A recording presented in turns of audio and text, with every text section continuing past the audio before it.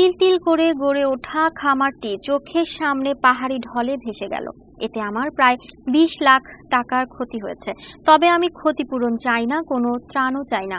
আমার জীবনের বিনিময় হলেও এই মহারশী নদীতে একটা স্থায়ী বেড়িবাঁধ চাই। বেড়িবাঁধ না হলে স্থায়ী এই সমস্যার সমাধান কোনোদিনও হবে না। সরকারের কাছে অনুরোধ করি আমাদের এই নদীর দুই পারে বেড়িবাঁধ করে দিন। কথাগুলো বলেছিলেন শেরপুরের ঝিনাইগাতি উপজেলার ব্রিজ পার এলাকার বেনিয়ামিন। গত ষোলো জুন রাতে ভারী বৃষ্টি ও পাহাড়ি ঢলে মহারশী নদীর রামেরকুড়া এলাকার তীর ভেঙে যায়। এতে তার বসত ভিটা ও চারটি মুরগির খামার ভাসিয়ে নিয়ে গেছে। খামারে বিভিন্ন জাতির মুরগি ও ডিম ছিল। এছাড়া তার ঘর ও আসবাবপত্র ভেসে গেছে।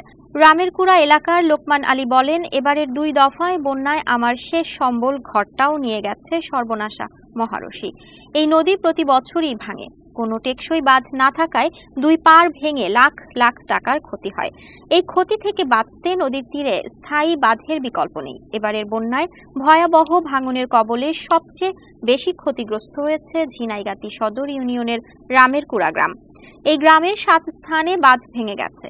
ব্রিজ পার সংলগ্ন এই অংশে ভাঙনের ফলে ঝিনাইগাতি সদর বাজার রক্ষা পেলেও ধ্বংসযোগ্য চলে রামেরকুড়া গ্রামে। সতেরো জুন দুপুরে রামেরকুড়া গ্রামের বাঁধের সঙ্গে চার বাড়ি ও দুটি মুরগির খামার ভেসে গেছে।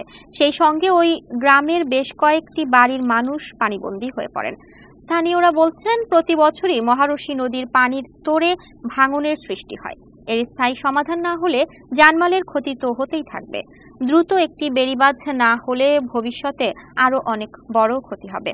ঝিনাইগাতি ক্ষুদ্র বণিক সমবায় সমিতির সাধারণ সম্পাদক ফারুক আহমেদ বলেন, মহারশী নদীর ভাঙনের ফলে প্রতি বছর বর্ষাকালে ঝিনাইগাতি উপজেলা পরিষদ সরকারি অধিদপ্তর ও সদর বাজার হুমকির মুখে পড়ে। পার ভেঙে পুরো ঝিনাইগাতি তলিয়ে যায়। বাজার ভেসে যায়, ব্যবসায়ীদের ভয়াবহ ক্ষতি হয়। তাই মহারশী নদীর তীরবর্তী বেড়িবাঁধ খুবই প্রয়োজন। ঝিনাইগাতি সদর ইউনিয়ন পরিষদের সদস্য জাহিদুল হক মনির বলেন এই বাঁধটি ঝিনাইগাতিবাসীর প্রাণের দাবি। মহারশী নদীর তীরবর্তী এলাকাগুলো প্রতি বছর প্লাবিত হয়। এই তীর ভেঙেই পুরো ঝিনাইগাতিতে পানি প্রবেশ করে। এখানে একটি স্থায়ী বেড়িবাঁধ নির্মাণ করা খুবই জরুরি। এ খবর জানিয়েছে বাংলা ট্রিবিউন।